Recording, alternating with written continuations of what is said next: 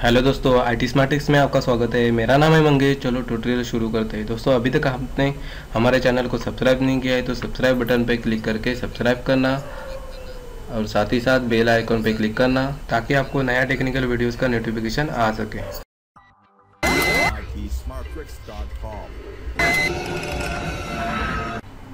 दोस्तों आज हम देखते हैं कि लैपटॉप हो या डेस्कटॉप में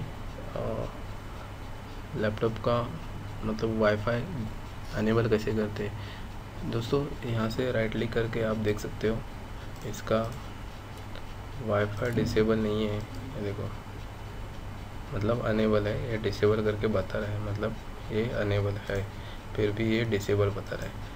आप मेरे लैपटॉप पे देख सकते हो लैपटॉप का बटन भी टर्न ऑफ़ नहीं है ऑन है, फिर भी ये डिसेबल है। क्यों? तो आप बोलेंगे कि ये ड्राइवर इसका डिसेबल होगा।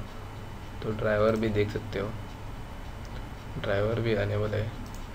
ये देखो। ठीक है? इसे डिसेबल करके डिसेबल होता है, लेकिन डिसेबल भी नहीं है। ठीक है? तो ये इसको कैसे अनेबल करते हैं? तो चलो देखते हैं। चाहते हैं कंट्रोल पैनल में। उसके बाद ये विंडोज़ मोबिलिटी का ऑप्शन है। इसमें बहुत सारा स्पीचर है। ये देखो। बैटरी म्यूट यहाँ से भी करा सकते हो सब तो यहाँ से टर्न ऑन करना है इसको ठीक है अभी देखो ऑन हो जाएगा ये देखो ऑन हो रहा है कनेक्ट ठीक है ऐसे आप ऑन करा सकते हो ठीक है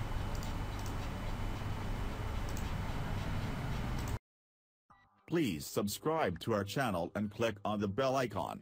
If you like this video, please do not forget to like and share. Thanks for watching. For watching.